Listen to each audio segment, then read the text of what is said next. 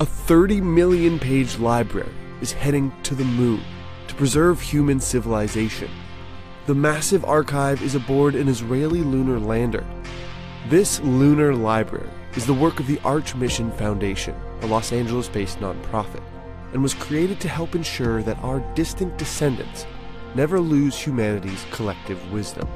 Included in the library's more than 200 gigabytes of data are the entire English language version of Wikipedia, tens of thousands of fiction and nonfiction books, a collection of textbooks, and a guide to 5,000 languages, along with 1.5 billion sample translations between them. All of that information is etched onto 25 stacked nickel discs, each just 40 microns, or about 1 600th of an inch thick.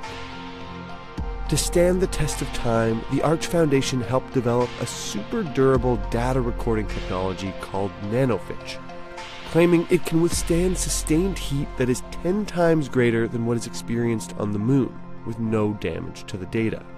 Each nickel disc could survive intact and unburied for millions of years. They hope to ultimately create a space based archive designed to survive for 6 billion years or more, a million times longer than the oldest written records in existence today.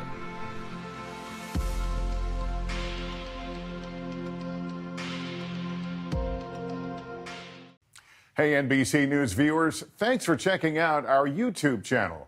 Subscribe by clicking on that button down here and click on any of the videos over here to watch the latest interviews, show highlights, and digital exclusives. Thanks for watching.